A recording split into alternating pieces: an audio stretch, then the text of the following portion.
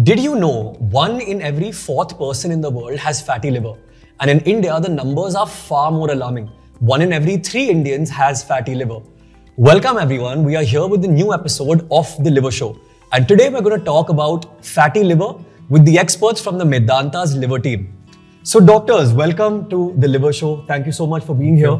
Dr. Choudhary, I'm just going to dive right in because fatty liver has been in the conversation for a very long time now. It's been, it's come back into news over the last two, three years. People are getting more health conscious. Can you please tell us what the fatty liver is? Normal liver does not contain fat. Less than 5% of liver cell will have fat in normal liver. When fat is more than 5%, then it is called fatty liver. Okay.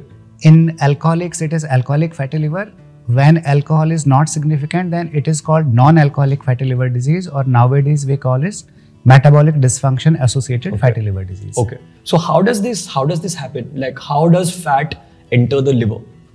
In most of the patients it starts with weight gain. We consume more calories and we do less exercise. So this extra calorie it gets deposited in form of fat. Okay. This fat it released into blood and it affect several organs including liver. So that is called fatty liver. It in addition to obesity it also depends on lack of exercise genetics what we consume. So it is multifactorial thing. Okay. But in most of the patients it is associated with obesity. So can you tell us the significance of fatty liver? You told us what it means you told us how common it is but what really happens here? Some of the patients with fatty liver they will develop fibrosis cirrhosis and they can develop cancer in liver also that we call hepatocellular carcinoma.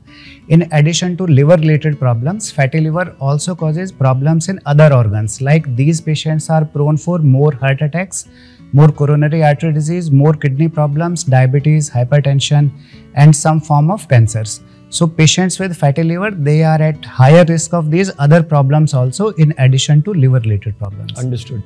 So Dr. Saraf, how do we prevent this then? So, cliched uh, as it may sound, prevention is better than cure. I think that doesn't fit anything better than a fatty liver, this saying.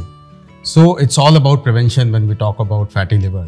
So, like uh, Dr. Narendra said, one of the leading causes of fatty liver is obesity. So, obviously, lifestyle modification is the core of preventing fatty liver.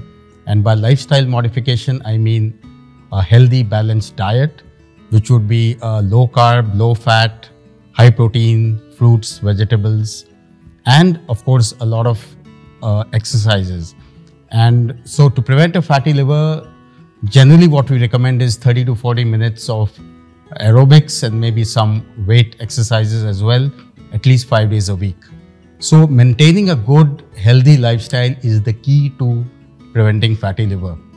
And if I may add, uh, the causes of fatty liver some of the other causes of fatty liver are diabetes, uh, high blood pressure, high cholesterol. So if you treat these, if you keep your diabetes under control, you can prevent your fatty liver. How does one diagnose fatty liver? We spoke about what it is, what it could lead to, but how do we find out that we have fatty liver? Yeah, so fatty liver for most part is asymptomatic. You have no symptoms unless you know the fatty liver becomes advanced liver disease. So most of the times you find out that you have a fatty liver when you get a ultrasound done for some other reason. Okay. Let's say you have pain in the belly and you go to the doctor and he orders an ultrasound and then you find out that you have a fatty liver. So that's most of the patients coming to us get an ultrasound done for some other reason and they find out that they have a fatty liver. Thank you so much, sir. We hope our conversation on fatty liver was helpful. It certainly was helpful for me. We want you to be healthy always. The Liver Show will be back with another topic soon. Till then, please take good care of yourself and your loved ones.